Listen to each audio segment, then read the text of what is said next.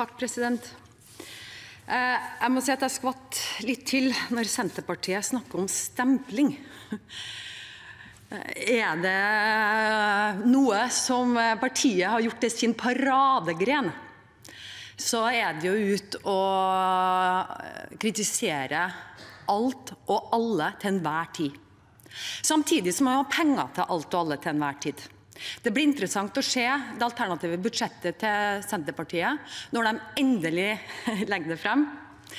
Eh, om det er kutt i løfter, eller om det er kutt i velferdsordninger for å få eh, budsjettet til å gå opp. Og det er noe nytt fra det Senterpartiet vi er kjent, som satt tæring etter næring. Det hører vi ikke et spor om lenger.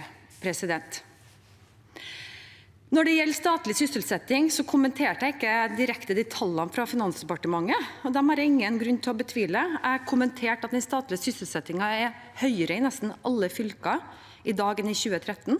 At økningen i all statlig sysselsetting har vært fallende i de fire største byene siden 2013. At vi fortsatt demper veksten i storbyene ved å lokalisere arbeidsplasser over hele landet.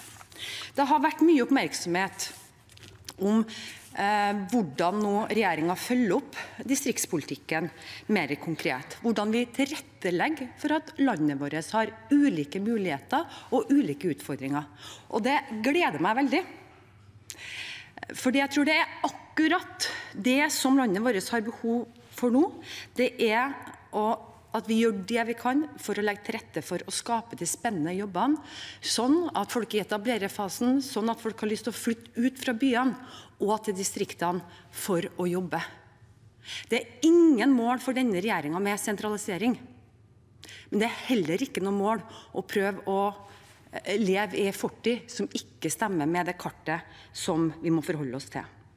Derfor ønsker regjeringen å se på hvordan kystområdene og Innlandet har ulikt ressursgrunnlag, og hvordan det kan bidra til å skape vekst og utvikling i distriktene.